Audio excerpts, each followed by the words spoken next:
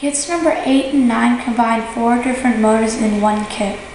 With kit number 8, you get all the parts to assemble all of them one at a time. It is a simple kit where you can build a simple reed switch motor,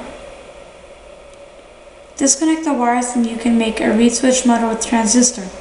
This is an optional heatsink.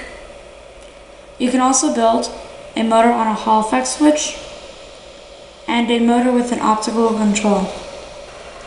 Kit number 9 extends kit number 8, allowing you to build them all at the same time and switch between different motor configurations with a simple turn of a knob. This is the kit number 9 with an optional solar panel.